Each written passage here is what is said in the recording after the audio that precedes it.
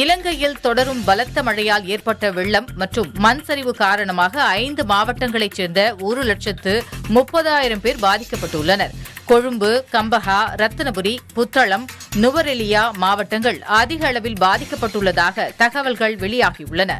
மழை வெள்ளத்தில் சிக்கி இதுவரை நான்கு பேர் உயிரிழந்து இருப்பதாகவும் இருவர் காணாமல் போனதாகவும் இடர் மேலாண்மை துறை அதிகாரிகள் தெரிவித்துள்ளனர். ஆறு மாவட்டங்களுக்கு மண் சரிவு அபாய எச்சரிக்கை விடுக்கப்பட்டுள்ளது.